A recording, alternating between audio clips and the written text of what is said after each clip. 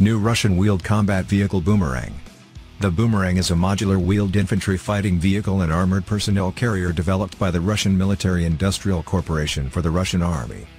The new Boomerang armored personnel carrier will enter service by the end of the year. Acceptance tests of a new wheeled combat vehicle based on the Boomerang platform have begun. This is about the K-16 armored personnel carrier and the K-17 infantry fighting vehicle, said a military official. Completion of acceptance tests is scheduled for later this year. Based on their results, the combat vehicle will receive permission for mass production.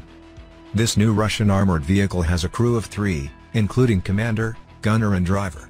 It can carry nine soldiers. The vehicle has a welded hull and turret. The armor is modular, so the level of protection can be adjusted according to the needs of the mission. So far, the degree of protection is classified